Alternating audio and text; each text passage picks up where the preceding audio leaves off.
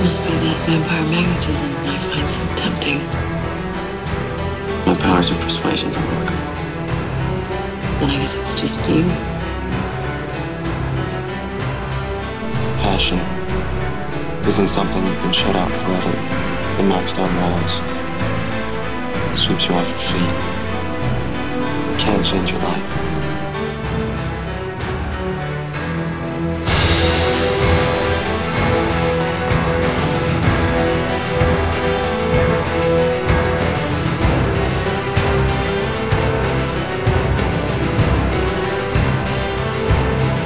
I am not to be taken lightly.